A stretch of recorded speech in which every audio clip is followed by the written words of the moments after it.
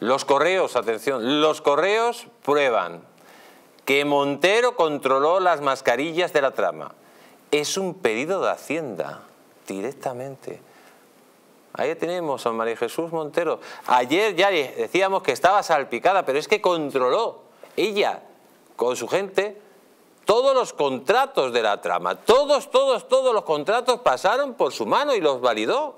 Bueno, esta noticia no la sabía realmente, pero fíjese cómo apoya lo que veníamos comentando hace escasos dos minutos, ¿no? Que realmente Hacienda aquí es cómplice necesario, no solamente por no investigar y seguir el rastro del dinero, que los investigadores sabemos que cuando damos con los delincuentes, cuando seguimos el rastro del dinero. ¿Y por qué se hacía todo esto en China y fuera de España y se vetó el, el hacer mascarillas en España? Pues porque es mucho mucho más difícil seguir al rastro de dinero fuera de nuestra frontera, ¿no?